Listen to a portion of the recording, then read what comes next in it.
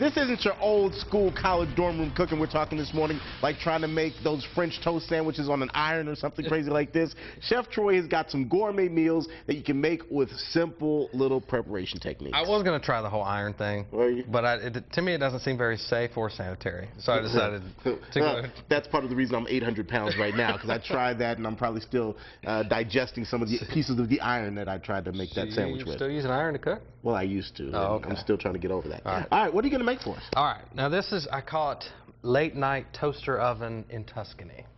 Okay. Basically a bread pizza. okay, bread pizza. all right. But uh, just like I was just telling you, though, there is some technique, and basically you can use any kind of bread you want. I went to the fresh market, got some good Italian bread. Now what I did with the toaster oven, now I'm not, I don't use the toaster oven a whole lot. So to me, this was, you know, if I'm going to do this, you know, in real life, I'm Mm-hmm. going to grill it.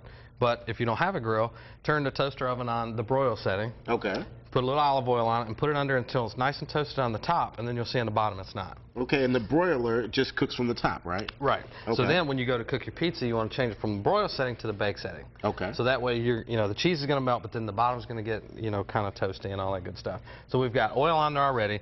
Now, tomatoes are in season, so if you want to use fresh tomatoes, you can. But, um, you know, obviously, you know, one of the things you want to do when you're in college, you want to stock a pantry a little bit, um, you know, with some canned stuff. You know, and I say canned stuff, I don't mean, you know, like, you know, canned macaroni and cheese, canned chili. I mean, stuff that you can, you can use ingredients. Obviously, you know, kids are going to do that. I'm a realist. I, I was in college, you know, Yeah. and I'm not saying I did a bunch of gourmet stuff when I was in college, but I did get tired of eating the same thing, so I, I tried some different stuff. Okay. Uh, tomatoes are in season. If you want to use fresh tomatoes, it works perfect for this. That's another reason to have this toasted because, you know, the tomatoes obviously are going to have a little moisture in them, Right. and you don't want the bread to get It soggy. absorbs that. Exactly. Okay. Now the thing with tomatoes, whether they come in a can or they come out of you know a garden or farmer's market or you stole them from the cafeteria wherever you got them from, you still got to season them.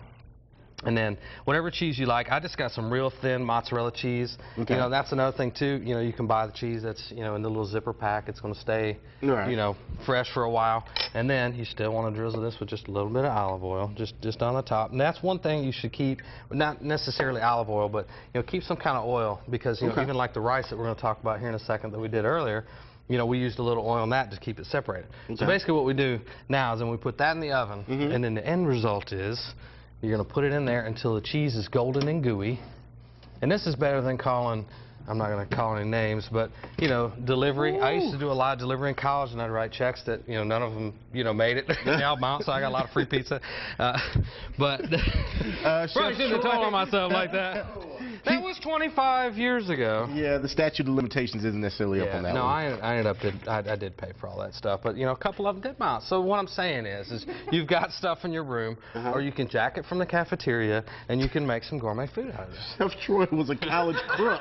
Good lord. I like that quote. Jacket from the cafeteria. jacket just from just the steal it. cafeteria. Just take it. Behind your back. Take what you need. Ready Fill- Fill your pockets. That's what backpacks are for, right? Right. I want to talk about that shrimp right there very quickly. The shrimp was easy. Uh-huh. basically just oil, water, uh, rice, salt, and pepper. And you put it in there for about eight to ten minutes, depending on your microwave. Mm-hmm. we covered.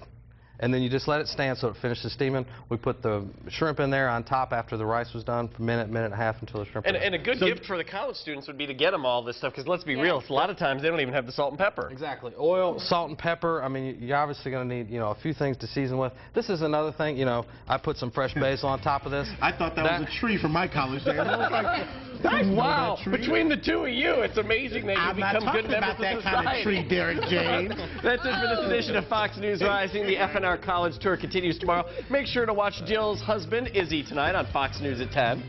I'll be watching.